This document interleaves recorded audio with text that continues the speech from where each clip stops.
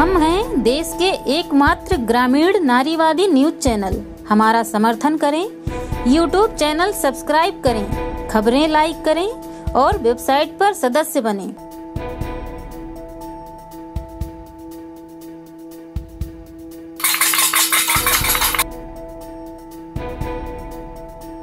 Corona जैसी महामारी से बचने के लिए लोगों की सुरक्षा सारी पुलिस के ऊपर सौंप दी गई है। जिससे लोग बीमारी से बच सकें और सुरक्षित अपने घर जा सकें। जहाँ पर पुलिस वालों के कई ऐसे वीडियो वायरल हुए हैं जहाँ पर मदद करते नज़र आ रहे हैं। लोगों को खाना खिला रहे हैं तो उन्हें बस और ट्रकों में बैठा करके घर सुरक्षित भेज रहे हैं। तो वहीं पर कई पुलिस वालों के सोशल मीडिया पर जमकर वायरल वीडियो हुए हैं जिसमें पुलिस मारपीट और लाठीचार्ज करते नज़र आई है। तो ऐसा ही एक कबरई थाने का मामला सामने आया जिसमें एक पुलिस वाला एक बुज़ुर्ग आदमी के साथ मारपीट कर रहा है।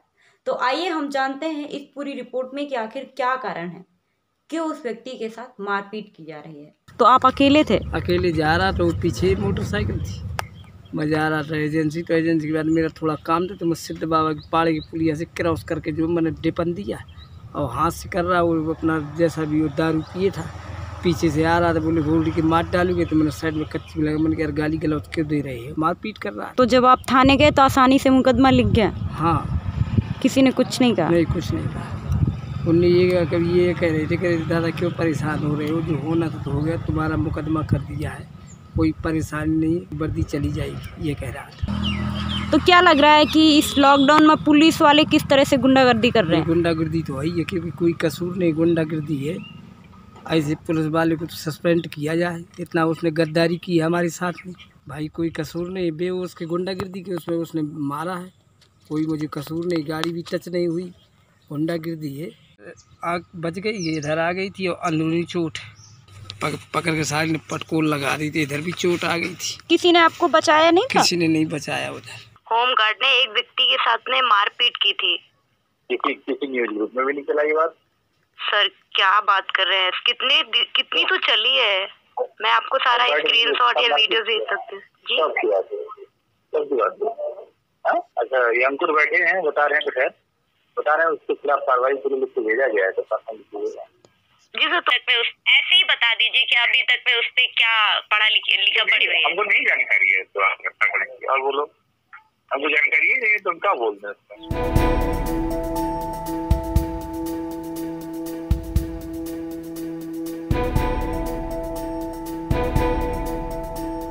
है कि उनकी दिमागी हालत खराब हो गई। बहुत ज़्यादा खराब है कि न को सोते न खाते हैं।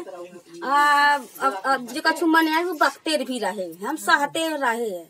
टट्टी उठाते पेशाब कराते हैं खवाते खाते नहीं है। तो ऐसा क्यों हो गया? अब मालूम नहीं दीदी हमको ना घर में रहे हैं।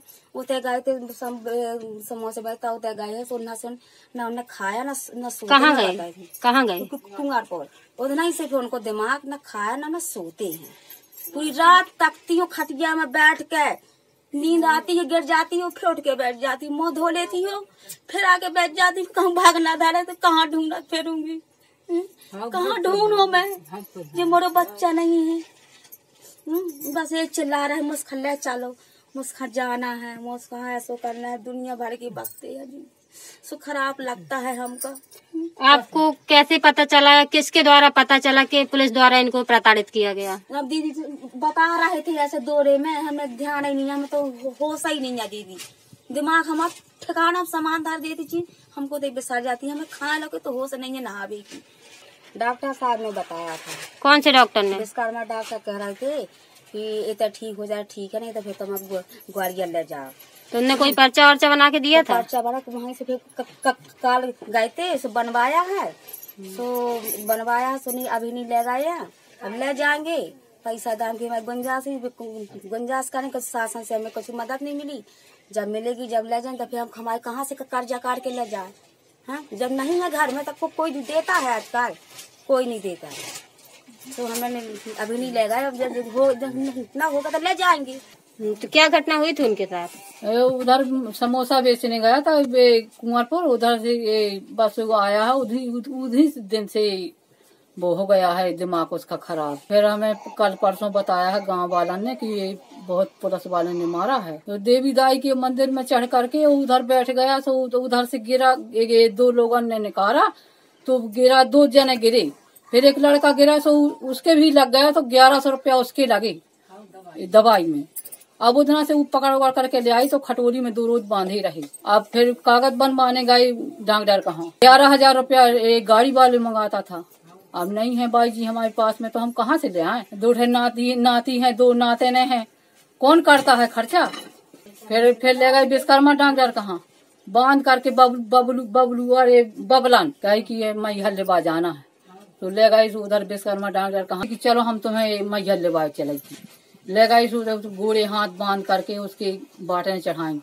चढ़ाते चढ़ाते बाटे चढ़ी, फिर वो से वही विश्वकर्मा डॉक्टर के पे थूकत रहो। है फिर उन्हें छोड़ दो।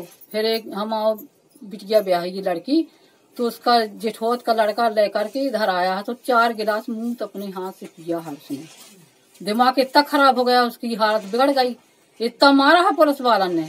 हनुमतपुर चौकी पर जब हम गए तो हमने वहाँ पर वहाँ के इंचार्ज रवि जी जादौन हैं।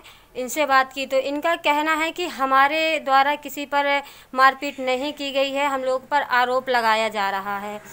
और वहीं दूसरी ओर इनका कहना है कि जो भी गाँव वालों को समस्या है हम लोगों के जाने से तो हम उस गाँव में पेट्रोलियम बंद कर देते हैं, जहाँ के लोगों को समस्या है। बाद में हम लोगों को पर कोई भी यह दोष न दिया जाए कि वहाँ पर भीड़ रहती है गाँव में और प्रशासन नहीं आती है। हमारे यूट्यूब चैनल को लाइक करें, सब्सक्राइब करें और नीचे कमेंट बॉक्स पर कमेंट ज़रूर करें। खबर लहरिया, आपकी खबर, आपकी भाषा।